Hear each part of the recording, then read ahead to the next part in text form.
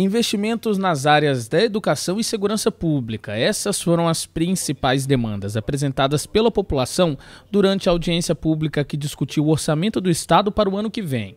O encontro foi promovido pela Comissão de Finanças e Orçamento da Assembleia de São Paulo e reuniu autoridades, população e representantes de movimentos sociais das regiões do Vale do Paraíba e Litoral Norte em um ambiente democrático de sugestões de ideias que podem compor o orçamento de 2018. Os vereadores da Câmara de São José estiveram presentes e também destacaram a importância de discutir o tema com a comunidade. O Estado já fez, né, já fez a sua a sua audiência, agora então a, a Câmara, a Assembleia, através aí da Comissão de Orçamento e Finanças, né? valorizando aqui, né, o Legislativo, valorizando a Câmara, é importante para São José e para as pessoas poderem aqui trazer as suas reivindicações, é, é o momento oportuno né, das pessoas se manifestarem aí os pedidos que, né, que a população eh, tanto cobra de todos. Né? Essas audiências é uma oportunidade de conversar com o governo do Estado, de conversar com os representantes na Assembleia Legislativa e discutir um pouco das demandas relacionadas às questões estaduais, que estão no nosso dia a dia praticamente direto. Né? Você pega questão de segurança pública, educação, saúde, o Estado tem uma parcela muito grande de responsabilidade nisso. Eu acho que isso a gente tem que desenvolver porque é um exercício de cidadania. Nós, como agente público, também temos vindo nessas atividades, acompanhado, colhido as demandas e observado o que a população tem requisitado e feito também as nossas intervenções e sugestões. Porque a população fala o que está faltando na nossa cidade, é, o que precisa.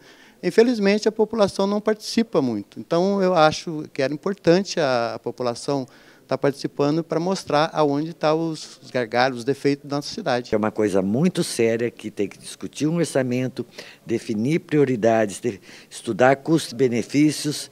Então é um negócio muito sério que é através desse instrumento que nós podemos chegar com, os, com as reivindicações mais urgentes para o governador e, e para tomar, tomar decisões. Quem presidiu o encontro foi o deputado estadual Davi Zaia, que recebeu para compor a mesa o vice-presidente da Câmara de São José, vereador Robertinho da Padaria, a presidente da Comissão de Finanças e Orçamento da Câmara Joseense, Dulce Rita, além dos deputados Padre Afonso e Enio Tato. Esta é a quarta de um total de 25 audiências a serem realizadas em todo o estado. O objetivo é colher propostas da população que poderão ser contempladas no orçamento por meio de emendas parlamentares, como lembra o deputado Davi Zaia. Bem, a população pode continuar fazendo sugestões, mesmo depois aqui da audiência, através do site da Assembleia, né, até outubro. É, e os deputados vão ter é, prazo para fazer emendas também, logo que o projeto chegue na Assembleia. Né? Então, provavelmente durante o mês de setembro. É, e depois disso, né, nós estaremos discutindo na Comissão de Orçamento. É, então, nas discussões da Comissão de Orçamento, na elaboração do relatório, né, a comissão procura avaliar das 25 audiências públicas né, que foram feitas, todas as prioridades que foram apresentadas no Estado todo e elaborada aí algumas emendas né, na comissão de orçamento para que elas façam parte do relatório final do relator e possam a partir daí ser aprovada, aprovação que deve acontecer é, no mês de dezembro na Assembleia. Um grupo formado por professores da região defendeu a necessidade de salários melhores para a categoria e criticou a falta de infraestrutura na rede pública de ensino estadual também foram reivindicadas demandas como assistência estudantil nas FATECs do Estado, a construção do hospital regional, maior apoio para investimentos na planta da GM em São José, aumento do efetivo da Polícia Militar, além de melhorias nas estradas estaduais. Entre os vereadores, as principais demandas apontadas foram nas áreas de educação, segurança pública e saúde. É claro que a gente sempre foca as três principais, né, que é segurança, saúde e educação. Essas áreas sempre vai ser, são áreas que, que necessitam muito do Estado para a nossa região, para a nossa cidade, e é claro, a gente sempre vai estar batalhando por isso. Porém, nós temos várias outras áreas também que merecem né, ser assistida e ter essa ajuda. Né? E hoje é importante estar tendo essa audiência para a gente estar levando junto ao deputado, junto à Secretaria de Planejamento, as nossas necessidades. Colocamos aqui, protocolamos também necessidade na área da pessoa com deficiência, né, que é muito importante. Tivemos muitas falas de professores da rede estadual. Então, são, são necessidades que a gente vai estar buscando, batalhando e levando até o governo do Estado. Saúde, educação e segurança. Parece é, falar do mesmo, né? Mas é verdade. A questão da saúde, ela é uma questão crítica. A demanda sempre aumenta. A gente está vendo o reclame da, da, população, as pessoas e a educação. Eu acho que nenhum país se constrói com, com educação. Então a gente tem que priorizar essas três áreas para que a gente possa ter no futuro um estado melhor, uma cidade melhor. A educação, segurança e a saúde, né? Que a segurança hoje está precária em todo o Brasil, mas é, infelizmente aqui precisaria de mais segurança e reformar essas escolas também do Estado, que estão muito é, depedadas, tem pintura. São José é uma cidade grande, uma cidade ainda que existe uma demanda muito grande. Eu já, inclusive, protocolei alguns pedidos também, que também sou cobrado é, perante a comunidade, que é voltado mais para a questão da educação e também a questão da área da segurança e também a questão do sistema viário, que é o que mais realmente eu acho que pega e somos cobrados. Em primeiro lugar, a questão da segurança. Nós estamos com um problema muito sério de falta de efetivo, tanto da Polícia Civil como da Polícia Militar. Temos também a questão do, da polêmica do Hospital Regional, né, que era para atender o Vale do Paraíba, agora está ampliando para o Alto Tietê, então a gente vai debater esse assunto aqui também e também algumas discussões relacionadas às escolas, especialmente de ensino médio, falta de professor e a necessidade de novas unidades escolares. Hoje nós estamos assistindo pela televisão uma fila enorme de moradores atrás de uma vaga na escola estadual. Então, nós precisamos voltar a investir na educação. Esse tipo de fila não acontece há muitos anos. É medicamento de alto custo que não vem para o município, demora e a, a comunidade é, sofre muito com esses atrasos. Acho importante que o Estado possa estar investindo um pouco mais na educação, é, sábado, por exemplo, eu estive num evento onde estavam fazendo um bingo para fazer manutenção na escola. Isso realmente é, é, é muito complicado, porque o professor, além dele estar com um salário abaixo daquilo que ele tem merecimento, ele está lá ainda um sábado, tirando da sua família para doar para a escola. Então, realmente é uma situação que precisa ser revista e quero propor, sim, que o Estado possa reforçar um pouco a presença nas escolas estaduais para realmente dar esse amparo. A questão da segurança pública, né?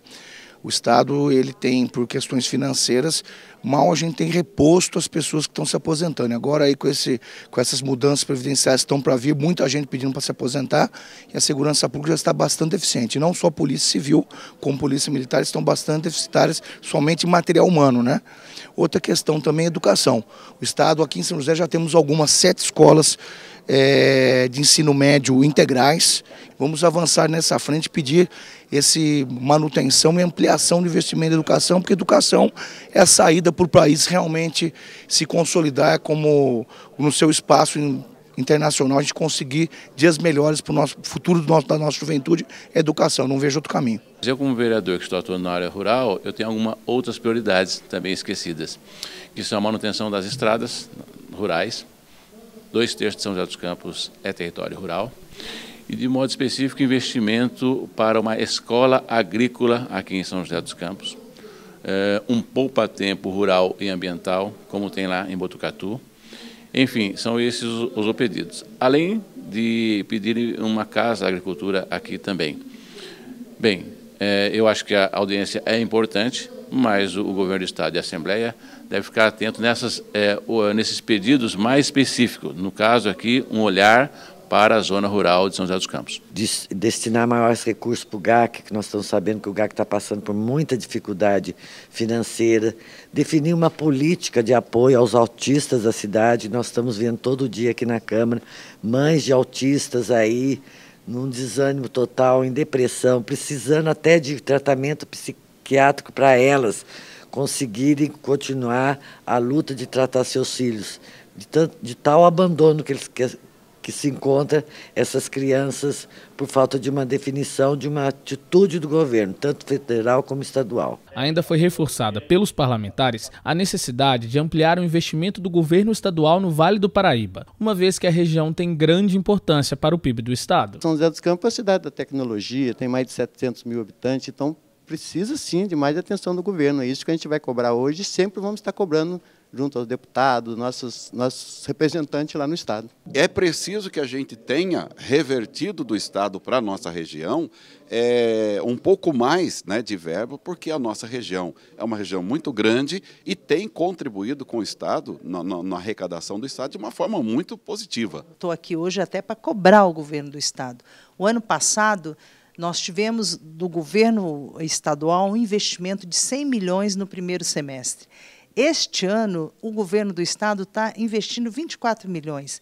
São 75% de variação. São José está perdendo. Vereadores precisam conversar e alencar suas prioridades em questão de cidade, em questão de região, né, região metropolitana aqui do Vale do Paraíba, encaminhar essas demandas aos deputados que, que a gente tem mais contato e ao governador. Eu acho que a gente precisa fazer uma força-tarefa trabalhando em conjunto para que as prioridades sejam alcançadas Toda vez que o governador estiver aqui, nós estamos apresentando. Não estamos deixando só na Comissão de Finanças da, da Assembleia, mas também entregando isso aqui, uma cópia de tudo isso que foi elencado por mim, que vai, vai, vai chegar na mão do governador também. A gente precisa ter mais um olhar de, de inovação e perceber aonde tem fundo, aonde tem investimento, onde podemos criar mais oportunidade para investimento, além daquilo que já temos no poder público. Eu acho que nós devemos fazer mais com menos, mas tem um olhar, um olhar de criatividade de cada um de nós.